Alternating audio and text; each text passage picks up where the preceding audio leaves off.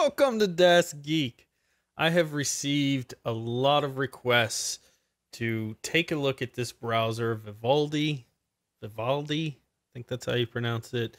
Uh, the developers of Vivaldi are individuals who apparently used to work on Opera back in the day, back when it had the gestures and everybody was kind of on the Opera bandwagon, or a lot more people were on the Opera bandwagon back then. And then its popularity kind of died down, and Chrome and others took uh, the big place. But you all know about the video that I've done. If not, I'll link it up above, where I reviewed the best top browsers out there and opera really came out number one and there were a couple reasons for that number one was the security of opera having the vpn proxy built in the developer version but there's been some problems there because the developer version even back when i did that video it's still only in the developer version and it seems like a lot of people are having problems in my comment section some are fine and they're getting it set up others are having issues so i don't know if it's region locked or not so it's still in the developer version. It's not in the regular Opera version, and individuals still don't have an option to activate it. It says coming soon. So that's not really bringing it to the mass population. I really hope they would have pushed that faster and got that out to a lot more people, but hopefully they're working out the bugs. And then the resources and speed of Opera beat out the other browsers as well. So I got a lot of comments in that video saying, hey, you need to check out this browser. I absolutely love it you know, I even got a lot of colorful metaphors being used against opera and saying you need to check out Vivaldi. So here I am for you doing a review of Vivaldi. So I've used this for over a week because I wanted to make sure it was a very fair review. I was very familiar with Chrome, Opera, Edge. I was not familiar with this browser really at all. Um, it just had never come onto my radar. So I went through and I did a lot of the same tests that you'll see in the video that I linked above on the other browsers as far as doing video streaming, checking out Twitch, Netflix, Opera, or Opera, uh, Netflix, uh, Hulu, all of those right out of the box to see if everything was working or if I had to do any type of setup, how the user interface was, how the security was in the system, etc. And here is Browserscope, one of the security tests that I did in that video. So I wanted to replicate that here, and you can see the only thing that failed is the two static HTML, which is also what Opera failed on and Chrome failed on. The others had other items that they failed that were a lot more dangerous. So from a security standpoint, tell you right off the bat, definitely up there with the best. As far as working with Netflix, Amazon Prime, and all of your key websites right out of the box, no configurations needed it gets an A plus. Very clean interface, very simple interface. I'm not blown away by it, but that's definitely a user preference. And I gave no points in my other videos for user interface because it's really up to you what you enjoy. Uh, but there's nothing from the interface that I felt takes away uh, from a browser experience. It's very clean, it's very customizable, it has a lot of neat features. The gesturing options in there. Are very easy to set up, very simple instructions. You can set up your own. I'll show you that here a little bit in a second. Extensions. So this is based on Chromium. So the folks at Opera who originally worked on it left, apparently came up and decided to come up with this browser, based it off the Chromium. So my Linux users out there, you'll be familiar with that. Very, very powerful uh, browser uh, API or GUI, if you will, that they used and customized to set this up. So that means you can use all of Chrome's extensions in there. So you can go right to the Chrome store and add their extensions. You can see AdBlocker Plus, my Dashlane, anything that you want that you utilize from Chrome, you can go in there and install here. So there's a huge advantage there from an extension standpoint that you can utilize all of those extensions because Chrome certainly has one of the best um, gallery of extensions out there. I think a lot of people write for it. Uh, proxy, proxy server here is easy to set up, although it doesn't come with one. So I use PIA VPN, which runs outside of the browser. But if you had one that you needed to set up the proxy within the actual tool itself, it would be very, very easy to set up and uh, compatible. And you do have a private browsing window option uh, although I would love to have seen in the settings an option to set that up right away. So you can set up here new private window and it will open that. And of course, this isn't real privacy. This is just really, I don't want my wife to see where I was, or my husband for that matter, to see where I was browsing. Um, but it's nice that they have that option. I wish it came as kind of a standard setup so that you can have it always go right to. And, and like Opera and Chrome and others, you can do some um, changes and add some code in to your start page so that it does automatically kick this off. But I wish it was just an option you could check mark to say, hey, always go into private browsing mode right off the bat. So with that said, let's take a look at some of these options here. So your standard new tab, new window, new private, open file, import bookmark and settings. I did have an issue importing from Opera Developer, uh, which is an option in the import into the bookmarks here in Vivaldi. I don't know why it became a problem, but it would just hang up. Um, so minor bug again. I might be the only one out there who was going from Opera to uh, Vivaldi, but it didn't seem to want to export those, so I had to move them over manually. Not not a big big deal, but uh, just one of the bugs I ran into. Uh, you've got your typical edits here, your views, so you can have your bookmarks panel, downloads panel, nodes, zoom in, zoom out. You've got your tools, your quick commands, your extensions, your plugins, you're clearing your private data.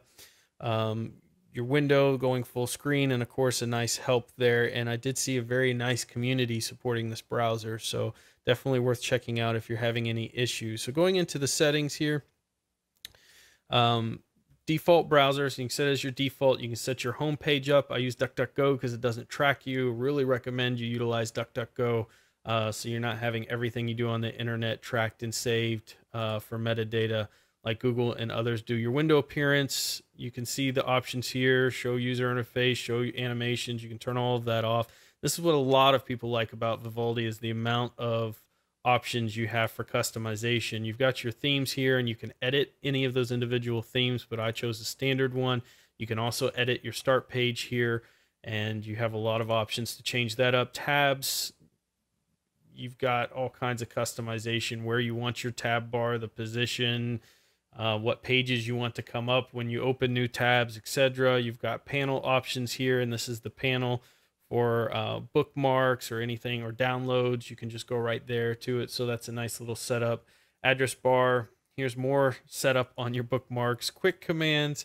Here's your keyboard options. So you can set up any keyboard shortcuts you want. So if you don't like the way you know new window is control N, you want it control W, you can go change that here and set up the, the uh, shortcuts so they work for you. Here's your gestures. So to open a new tab, you just hold down your right mouse button and perform the gesture. So what this is saying is it will open a new tab and you can see it's on its way to opening a new tab here.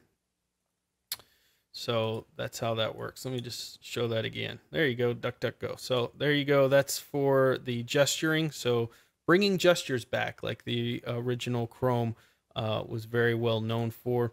And we've got your search options here, so you can set these. I like that a lot. I could set my search engine to mainly be DuckDuckGo, Wikipedia, and then Google. You've got your privacy options. There's lots of great privacy options in here. You can tell it. I actually had to change this for a banking site because I had blocked third-party cookies on, which blocked this bank thing, and that's a whole nother story. But anyway, so generally, you know, block third-party cookies. I don't want it to save my web page passwords. I use a app- different application for that. Um, and then you can go in here and set any of these individual items based on what you want. Uh, if you want them to track you, if you want to send diagnostics, etc., or not. You can set your download folder, your web pages for smooth scrolling, focus forms. I mean, you can change everything on here, and that's really what this browser is about. So, where would I rank Vivaldi against Opera in them? Well, uh, as far as resources and things go, when I did the test, it was almost exactly on par with the resources used in Opera Developer. Uh, it may have come in a little less. I didn't go and calculate it all, but for the most part, they were very, very close to each other. So, for all those who wanted me to check it out, I can tell you that I really like this browser a lot. I found it very fast. I love the customization of it. I loved all the security options. I love that out of the box, you can pretty much do anything with it. I wish they would go with the kind of free proxy offering just because I want more people to know about VPNs and proxies, although the Opera one's more of a proxy. It's not really a VPN, but they're calling a VPN, and that's a whole nother story. But, anyways, it provides a different layer of security.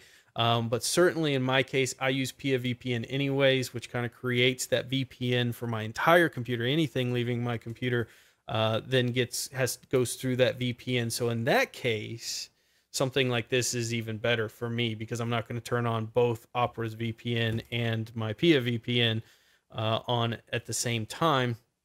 And I love that everything works right out of the box on this since it's based off of Chromium. So I have to tell you, this is a huge competitor for the top browser out there. It's definitely something I've installed on all my sh- machines in the last week. I've really come to kind of love it. Uh, again, the interface doesn't blow me away, but there's something that draws me to it. Maybe it's the simplicity of it.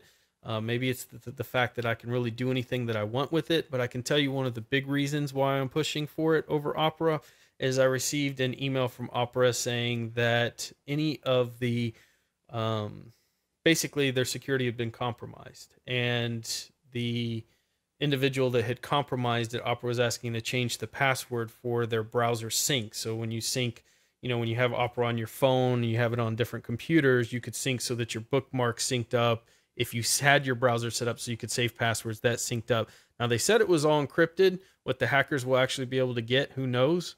But that's a major problem that they've kind of had that security issue. Anyone technically can be compromised. Um, so, you know, wait it the way you want. But the fact that I got that email the week I was testing this made me really think, wow, maybe I, I need to find something different, maybe a little less popular um, than the Opera platform out there. So they, they did have that compromise. Vivaldi hasn't had a compromise that I could find yet. That doesn't mean nobody could. Certainly, any browsers possible, but I think it certainly tells you you want to turn off a lot of those features like bookmark syncing and everything else that sound really great. They seem like wonderful, convenient features, but they could end up biting you uh, as hackers kind of get more and more sophisticated in what they're doing here. So, in any case, I give it a five all day long out of five. I mean, this is a really good browser. They've done a fantastic job. I've had no technical issues outside the bookmarks import. I don't know what else to say about it. It's really, really good. The team here who created this, I mean, congratulations. You have created one hell of a product here. And I believe if we go to their site, maybe it's vivaldi.com. There you go. So check out their site, browser for our friends. They have um, some information here on the team. So these are all the geniuses that came together, all these beautiful men and women uh, that work on this fantastic product and they certainly deserve a huge applause for coming out with this browser. I hope it gains popularity. I hope you go download it and check it out. Um, if I was to say, does it take Opera? Uh, if they can do something with the proxy to compete on that security side of it, I would really be interested uh, in in them pushing towards that. I, w- I want more browsers to push the proxy VPN service because I think it's very important for people's privacy. So that would be the thing that I would say would throw it over the top. If Opera fully pushes out that proxy to everybody, it's going to be a really close race. But certainly Vivaldi is worth a download. Certainly, I think it's better than Edge, Chrome, IE, those other browsers out there for a lot of reasons. Uh, number one being a lot of the privacy uh, issues that I have with Google and Chrome. So, in any case, that's my take on it. I love it. Leave your comments below. I know some of you have been waiting for this video. I've gotten hit up on Twitter. I've gotten hit up on uh, YouTube. I've gotten lots of colorful comments about wanting Vivaldi. So there's a lot of passion behind this, and I could see why. It's a really good product created by a really awesome team. So I can't wait to see some of the new features. In fact, they just released a patch for it this week. So they're actively updating this browser, which is fantastic. So get out there, take a look. Let me know what you think in the comments. Until then, Get out there and fill your brains.